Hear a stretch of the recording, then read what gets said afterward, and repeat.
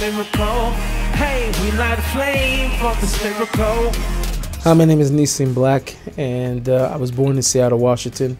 I'm a professional rapper, and I love doing what I do. Rap is uh, the tool that I use and the medium that I use to be able to reach people in an amazing way and to be able to share God's love in the world. I was raised in a completely different life than what I'm living now. As an inner city kid, growing up in the urban neighborhoods, got into gang violence and drugs very early on, and had that wonderful opportunity to change my life. I converted to Judaism at the age of 26. Me and my wife, we had two children at the time, and thank God, she has blessed us now with six.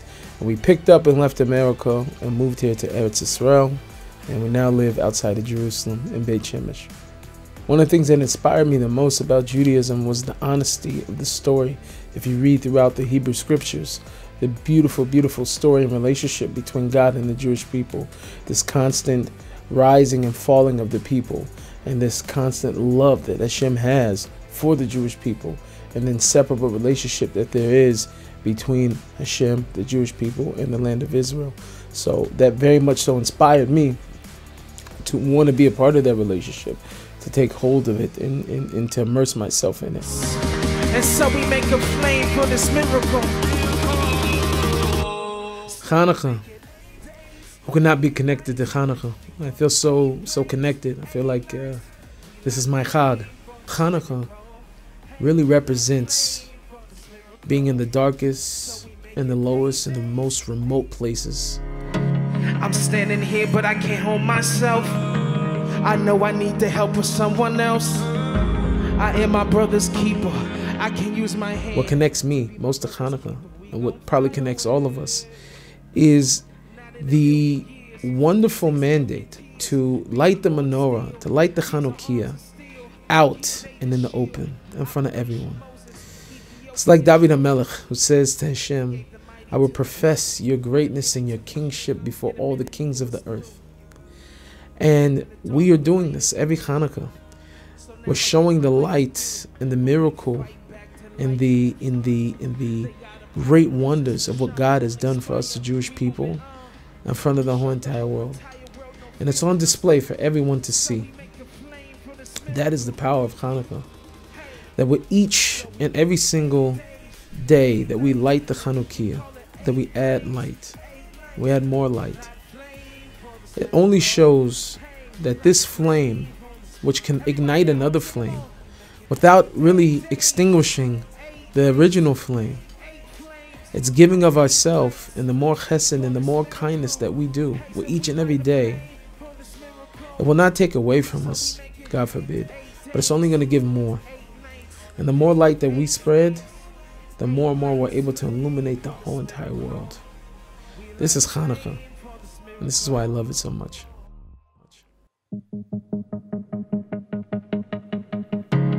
Whenever we down, he can lift us up. Ain't a difficulty too difficult for us. If only we would trust and keep our heads up. This sky we can touch, yeah. But I feel so out of my zone. I feel like I lost my control. I feel so out of my zone. I feel like I lost my way home, yeah. But when it's dark out, I can't see, yeah. So can you make a light for me? It's hard. From Egypt to Babylon, the Holocaust, Inquisition would pivot us to the pogroms. Yeah, from the Greeks and now in Rome. Yeah, but we fight back to light that fire. They got a problem cause this neshama won't expire. We move it on. We show the whole entire world no fear in us. And so we make a flame for this miracle. So we make it eight days, eight nights, and you can call it eight flames, eight lights. We light a flame for this miracle. Hey, we light a flame for this miracle. So we make it eight days, eight nights, and you can call it eight flames, eight lights. And we light a flame for this miracle. Hey, we light a flame for this miracle. I'm standing here, but I can't hold myself. I know I need the help of someone else. I am my brother's keeper. I can use my hand to be my brother's keeper. We gon' fly away. Not in a million years, can six million tears be ignored still? These are arms of steel, King David's shield, Operation Moses, Ethiopian Trojan. He gave the mighty to the weak and the many to the few. In a minute, it was through. Even in the dark, we light it through. So now I give my light to you, but we fight back to light that fire. They got a problem cause this neshama won't expire. We moving on. We show the whole entire world no fear in us. So we make a flame for this miracle. Hey, so we make it eight days, eight nights, and you can call it eight flames, eight lights. We light a flame for this miracle. Hey, we light a flame for this miracle. So we make it eight days, eight nights, and you can call it eight flames, eight lights. We light a flame for this miracle. Hey, we light a flame for this. Everybody at home sing along. We make it eight days, eight nights, eight flames, eight lights for this miracle. Hey, so we light a flame for this miracle. So we make it eight days, eight nights, eight flames, eight lights for this miracle. We light a flame for this miracle. Hope everybody's joined the Hanukkah so far.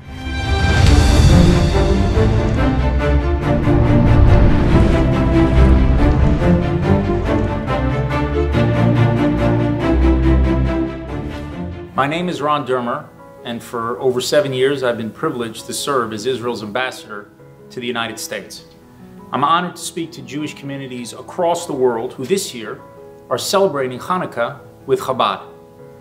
Now, some people say that all Jewish holidays are the same, that all our holidays can be summed up in three short sentences.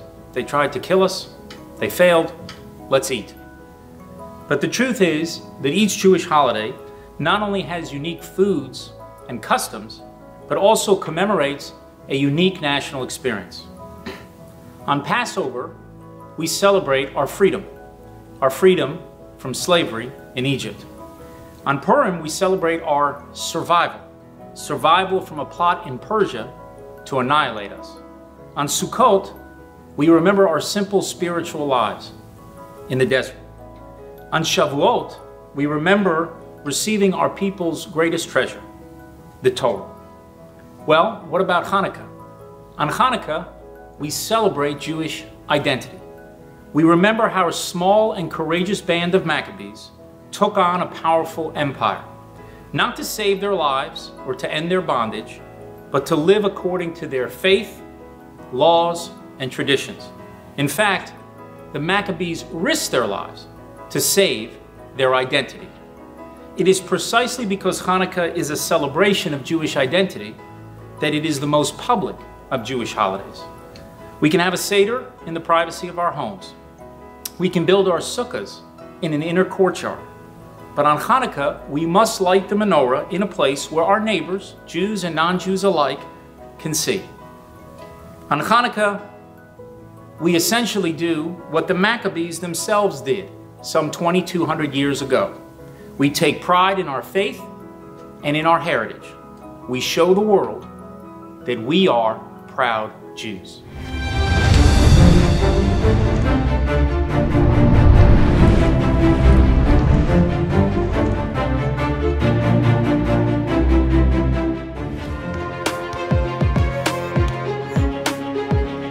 Hi, my name is Tamir Goodman. I'm originally from Baltimore, Maryland. I was blessed to play Division One basketball on a full athletic scholarship and professional basketball without playing on Shabbat. Today, I live in Jerusalem with my wife and five kids and I have a sports consulting company that focuses on product development, coaching, and scouting for basketball players around the world. After many years of hard work and training and pushing myself till tears every day, trying to be the best Jewish basketball player that I could be, at the age of 17, I was ranked the 25th best high school basketball player in all of America. I started getting a lot of scholarship offers. I originally committed to the University of Maryland. Um, but then I realized if I wanted to stay and play there, I'd have to play on Shabbat. So I actually went to play for a different team, Towson University, and Towson University managed to change the entire schedule for me so that I could play Division One basketball without playing on Shabbat.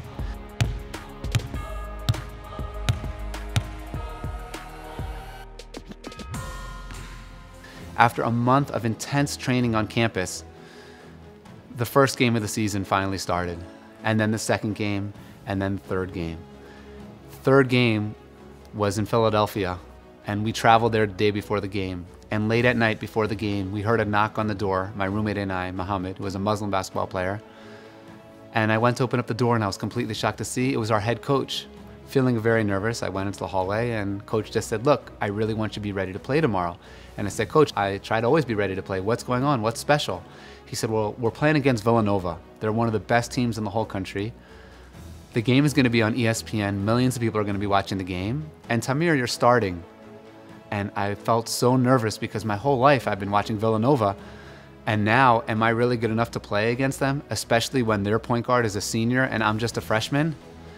I came back into the room and I closed the door and I was frozen. I was so scared. I couldn't sleep the whole night. The next day, we got to Villanova, two hours before the game. Usually there's no crowd there, it's just the players warming up. And we were warming up, but I just couldn't get my confidence going. I was so nervous. I couldn't dribble well, I couldn't make my shots. I was so scared that I wouldn't be able to play on this level on ESPN in front of all these people. After a little bit of time in the warm ups, I looked up in the crowd and I was completely shocked to see there was a Jewish lady there and a young Jewish boy, her son, with a kippah on his head. And I locked eyes with them, and I stopped warming up for a minute. And I was staring at them, and I noticed that the young boy took a poster board out of his bag, and he lifted up the poster board and he started writing in Hebrew letters at Villanova, Bruchim Abayim le Tamir Goodman. He wrote that in Hebrew letters, Welcome to Tamir Goodman. And down from the floor I just thought to myself, wow, who ever saw Hebrew letters in this world famous arena? This is unbelievable. And when I saw those letters, I just didn't feel nervous anymore. It made me feel right at home. I ended up having a very good game. I had 13 points and six assists as a freshman. And the coach came over to me after the game and he said, Tamir, I just want to let you know that you won the starting spot as a freshman for the rest of the season. And oftentimes people ask me, they say, Tamir, how were you a starter as a freshman in Division One basketball. And I always say to them, it wasn't me. It was the young Jewish boy that wrote the Hebrew letters. It was the Hebrew letters that made me feel right at home, and I wasn't nervous anymore. I think this story has an incredible message for us and Hanukkah, especially this year. Because this year, we don't have our confidence going. We don't feel like ourselves. Because of the coronavirus, all of our confidence has been taken away from us. But this story reminds me, and hopefully it'll remind you, just take the first step. Get dressed, put on your uniform, start warming up, and eventually Hashem will send you the blessings that you need to be successful. I wasn't confident. I didn't think I was going to be able to play well in that game, but I put my uniform on, I went out to warm ups, and Hashem sent those angels that showed me the Hebrew letters that gave me all the confidence that I needed to move forward and have a great game. So, my blessing to you this Hanukkah is just take the first step. There's so much power in adding just one light because when we add just one light, Hashem will take care of the rest for us. Happy Hanukkah from Jerusalem, and thank you to Chabad for the opportunity.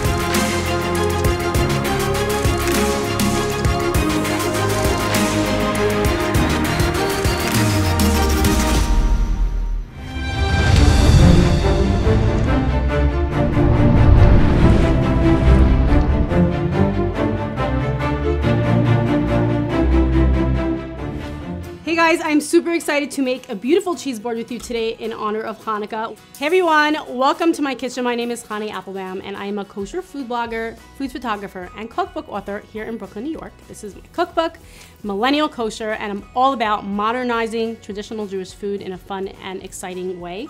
Uh, I grew up right around the corner here in, uh, in Brooklyn on the block of 770 Eastern Parkway, the headquarters of the Chabad Lubavitch movement, and just had the most beautiful upbringing, celebrating our traditions and Judaism um, in such a special way. And I'm a mom of five, And one of the things that is so important to me is just bringing and gathering my family around the table to celebrate our heritage and traditions through food. Obviously, Hanukkah and the holidays, that's you know the best way to do it have your potato latkes and your Hanukkah donuts, but more importantly, the Hanukkah menorah. I was actually born on the fifth night of Hanukkah, so it's really special to me to gather my family around the menorah and light it. But I don't do that in my kitchen, I bring it to the window because at the window is where you can actually spread the light and show that I'm a proud Jew and spread the light of Judaism to the world. And really, that's what I'm so passionate about in what I do.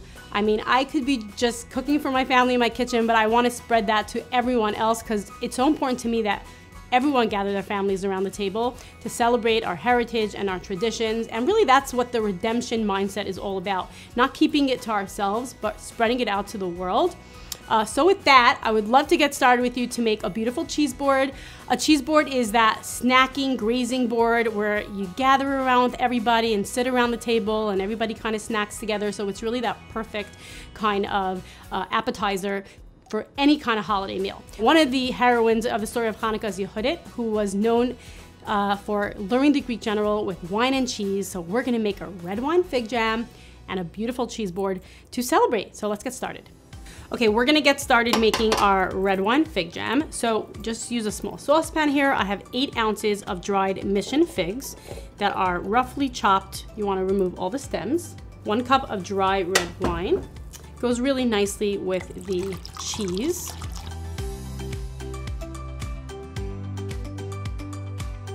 Now we're gonna peel a couple of strips of orange zest. You can use lemon zest, you can use grapefruit zest if you like. And my trick is I take a couple of cloves and I pierce it right in there. This way, they're not floating around your pot and you have to look for them. I'm gonna add a cinnamon stick in there and also some star anise. The figs are quite sweet in and of themselves, so I just add a little drizzle of honey. You can add any kind of sweetener you like, maple syrup, brown sugar, all work well. Okay, we're gonna give that a little stir and let that simmer for about 20 minutes until most of the liquid is absorbed. And then if you want, you can uh, blend it with a food processor to make it a little bit more jammy or you can have it be a little bit more chunky. It's up to you. Okay, we got our jam going and now we're gonna start with the cheese. There's actually a kind of a technique to building the perfect cheese board and that is using a different assortment of cheeses. So the rule is something old, something new, something goat, and something blue. So let's look at what we have. Something old would be like an aged cheese, such as Parmesan, cheddar, Gouda.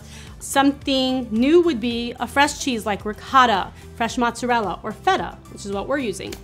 Something goat would be a goat cheese, which we have right here, and something blue would be like a blue cheese, except I usually find that most people don't like real blue cheese, so what I like to use is Camembert or Brie, which have a moldy rind, so it's kind of like a moldy cheese, but not that moldy. First, I wanna show you what I do with my goat cheese because it's really fun. You can roll it in chopped nuts, uh, dried fruit, uh, fresh herbs, but I like to roll it in everything bagel spice. How fun is that? And I'm just gonna kind of roll it pressing down on the spices to adhere to the cheese.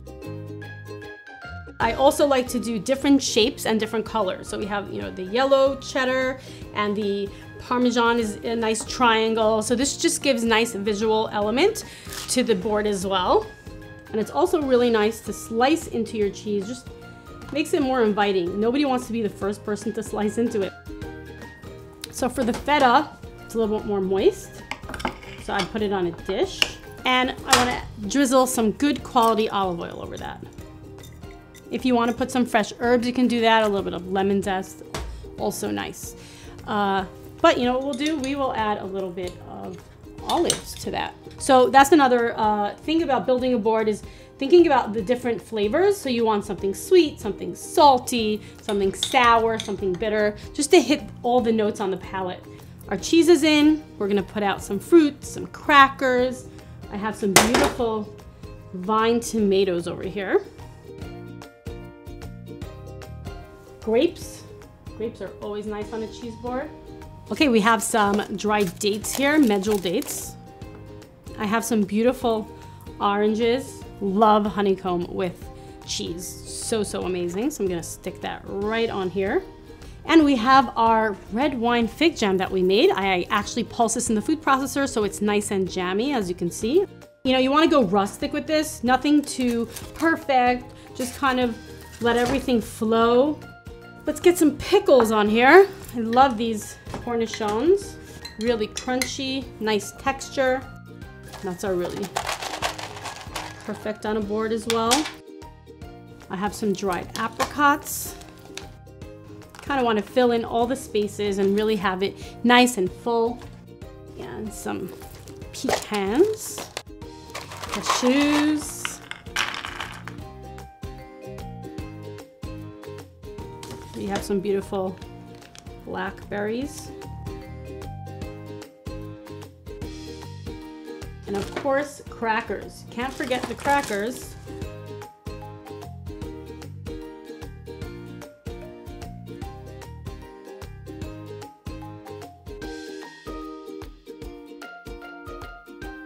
Look around your board, fill in any gaps that you might have.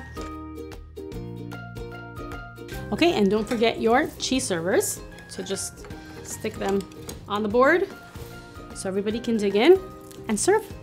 Thank you so much for joining me in my kitchen in Brooklyn today. I hope you enjoyed building a cheese board with me and I hope you'll make one for your family too. Happy Hanukkah, everyone.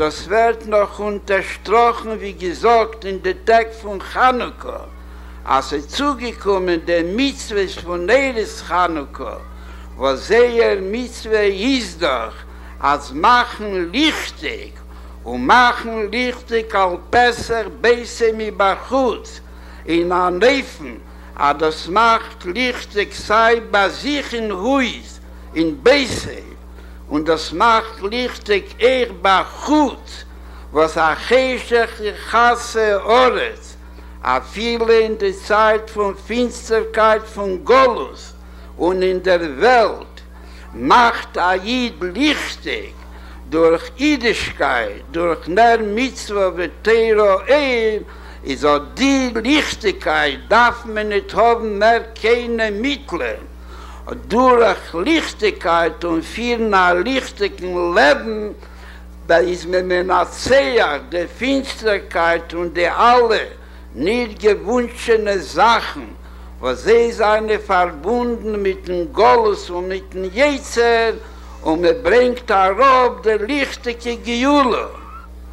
Und eine zweite Ablehnung, was ihr mir Chanukah geben, jeder in den Zivis Hashem und den ganzen Zivis Hashem, als beschaß mir viel durch den Mebischen Schliches. Und mir ist aktiv und mir tut den Zivis Hashem, wie viel mir darf tun, darf man sich damit nicht begnügen.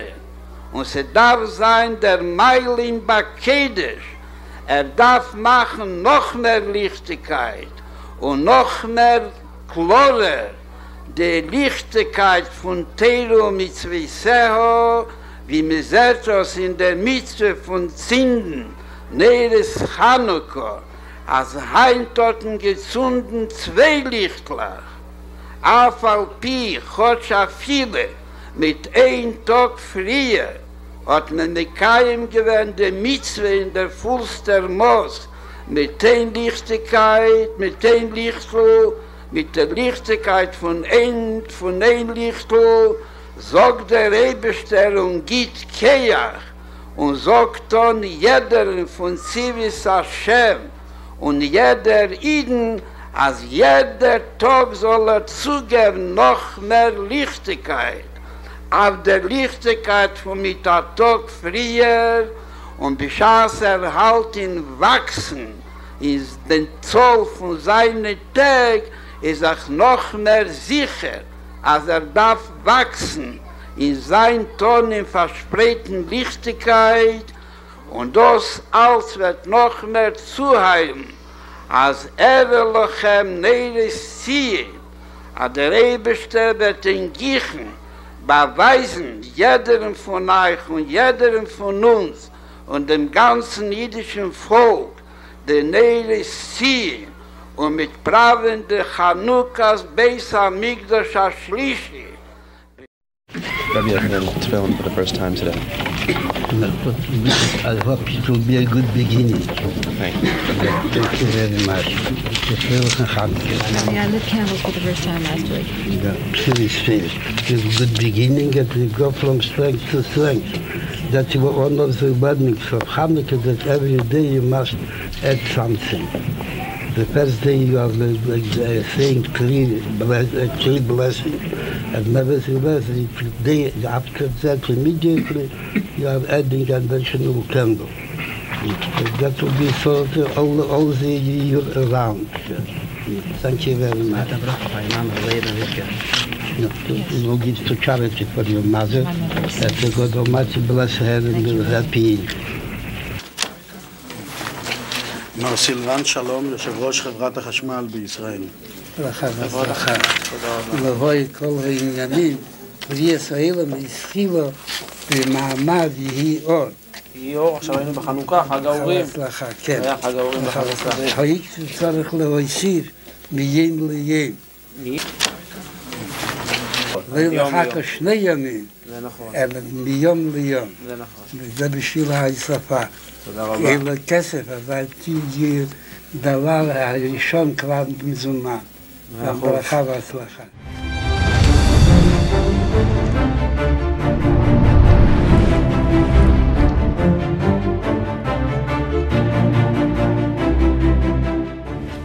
My name is Rabbi Y.Y. Jacobson, Yosef Yitzchak Jacobson.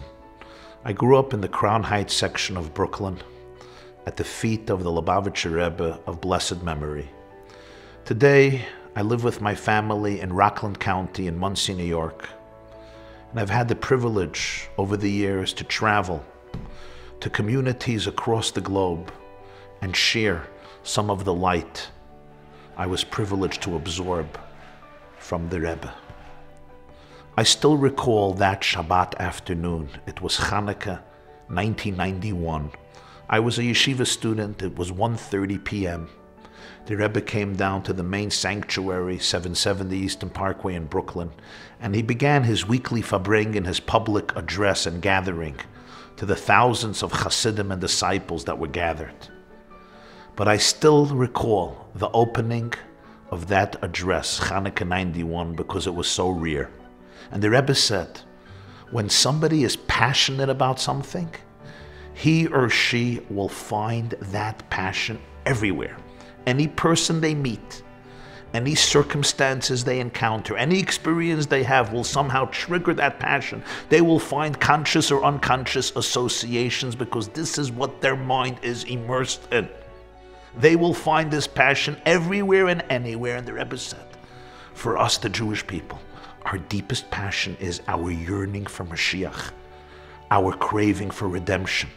We yearn for a world that is filled with divine infinite consciousness, where humanity is one, where each and every single one of us has the ability to transcend our toxicity and be aligned with our divine infinite core of love and light.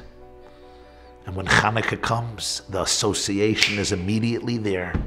We're yearning for a world that's filled with divine, spiritual light and love.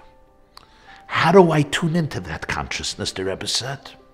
He said, Look what happens when you kindle a flame. He says, with most material things in our world, it's a zero sum game. If I give you $100, I don't have those $100. If I give you shares in my business, those shares are now yours and not mine. But if I have a flame and I use that flame to ignite another flame, nothing of my light is diminished. On the contrary, my light has just increased. There are two ways in which we can operate on a daily basis. One is a more restrictive form of consciousness, where I believe there are only limited assets and we're all competing. I walk around with a restricted state of consciousness, being very cautious about what I'm going to share and what I'm going to get. I have these walls of insecurity and fear that I feel I must always carry with me in order to protect my fragile ego. But the Rebbe said Hanukkah tries to teach us another way of living. Instead of looking to the world for validation and for love, you become the source of light. I must challenge myself and ask myself the question can I, at every single moment, become a source of love, a source of light, a source of hope, a source of healing to everybody around me? When people see me, when people see you in the street, in the store, wherever it is, in the office, they know immediately this is a flame from which I can kindle my flame. Because when I and you become that person, not only does our light not get diminished, on the contrary, we receive more light and more love as we flood the world with love.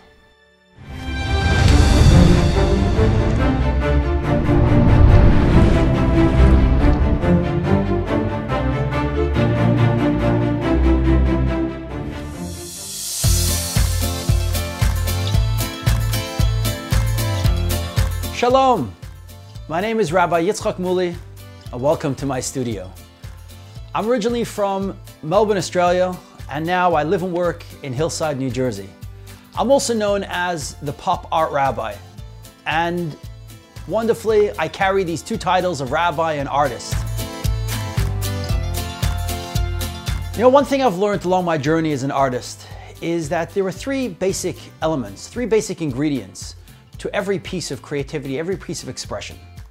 Step one is what you say, the subject matter of any form of expression. And really that's a reflection of yourself, a reflection of your soul, reflection of your circumstance, reflection of your upbringing, the things that really matter to you most, that you choose and want to share with others.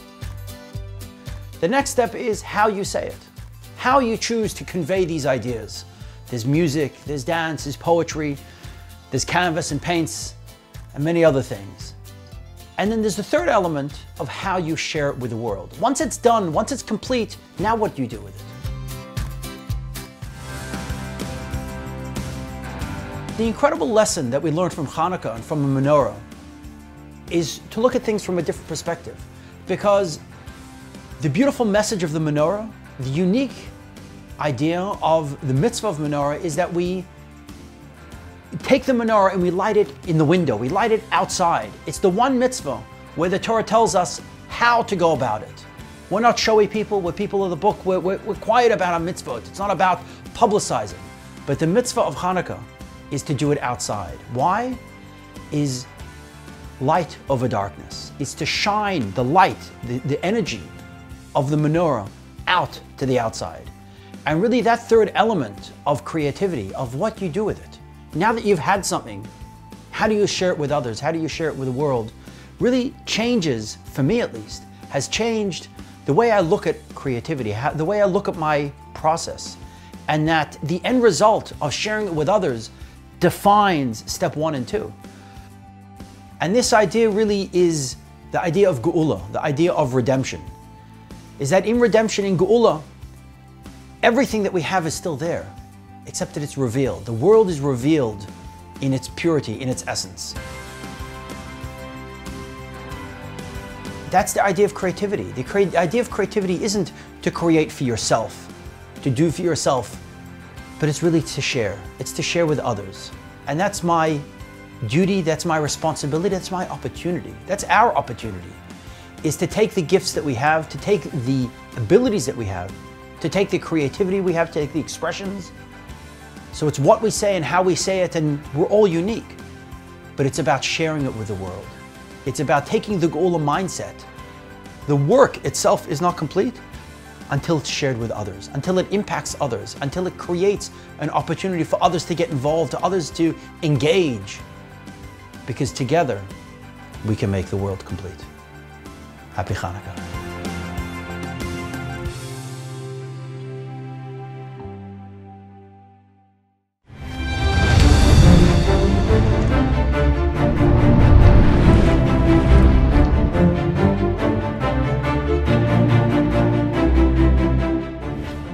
My name is Beryl Solomon.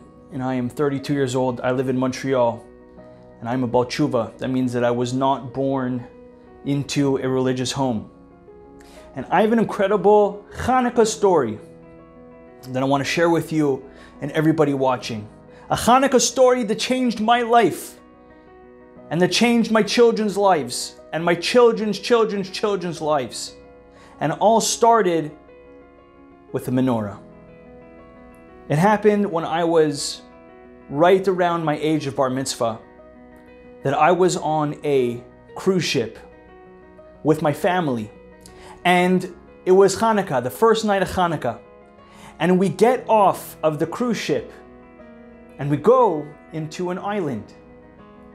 And as we're getting off the boat to go on our adventure, a young man, not much older than my eldest sister at the time, comes up to my father and says, Happy Hanukkah, sir. Are you Jewish by any chance? My father said, Yes. He said, I want you to have this Hanukkah menorah. And my father said, Wow, that's so nice. My father asked him, How much do you want for it? And the young child said to my father, You don't have to pay me. All I want from you, sir, is that you promise that you will light it tonight and every other night for Hanukkah. My father took the menorah, he was touched, and we went about our business at the island and we came back at the end of the day and he stuck it in his suitcase. And as we're sitting around at the dinner table that night, for anybody that's ever been in a cruise, you know there's hundreds and hundreds and hundreds of tables on every deck. And we're sitting at our table, and my little sister reminds my father, she says, Dad, it's the first night of Hanukkah tonight. And my father says, Wow, I remember, we got a menorah, go get it. And I went with my sister to go get the menorah, and we brought it to our table. And we were very scared to light it because on a cruise ship, you're not really allowed to light. But we did it anyways. And we put together any blessing that we knew, we remembered any song that we could remember, and we lit the menorah. And something amazing happened. Within a few minutes, we saw on the top deck that somebody else had also lit the menorah on their table. And then within a few minutes, we see another table right next to us light their menorah. And then again and again and again, another one and another one and another one and another one, and people kept on lighting the menorahs until it seemed that the entire cruise ship deck was completely lit with menorahs. Jewish people that were hiding until this moment all revealed themselves with the flame of Hanukkah. And my family was so touched. We felt like we lit up the darkness. And that is the magic of what Hanukkah is about. The magic of a candle is when you light another candle with your candle, not only does your candle not get diminished, but you could illuminate an infinite amount of candles. And that one moment left such a profound impact on me. Today, thank God, I'm married to a beautiful wife. I have three beautiful children. And it all started with a little bit of light on Hanukkah. And I try to take that light into everything I do. I'm a businessman first and foremost, and I try to infuse that into my business. I try to touch every customer with a little bit of light. Jewish or not, we have a mission into this world. But it all started with the magic and the light of Hanukkah.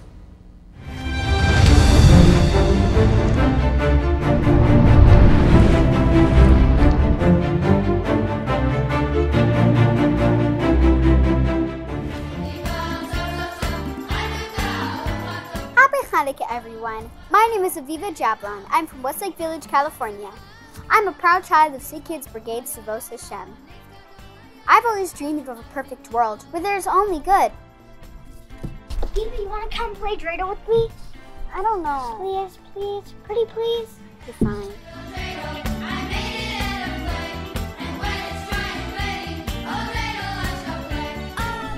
Hey, I just realized that my dream of a perfect world can actually happen.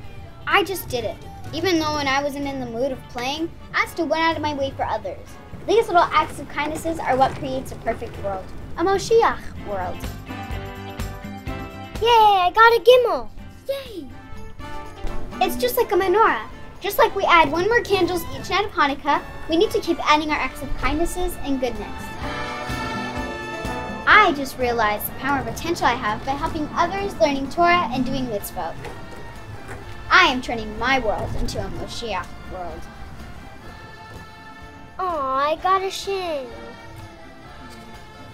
As a child of Tzivos Hashem, I am part of a global network of thousands of Jewish children who are trying to make this world a Moshiach world. When I know that I'm not alone, it makes it so much easier and brings Moshiach faster. When the whole world will be the perfect world that I have always dreamed of.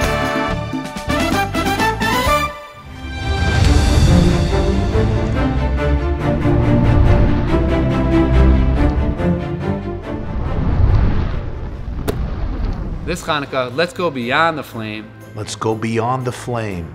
This Hanukkah, This Hanukkah, let's go beyond the flame. and unleash our unlimited potential. Light up the world with goodness. and constantly grow. Constantly grow. This Hanukkah, Let's go beyond the flame and light up the whole world with goodness. unleash our infinite potential. Flood the world with love, light, and goodness. Have your moment. Have your moment of redemption. Have your moment. Of redemption now. Let's have our moment of redemption right now.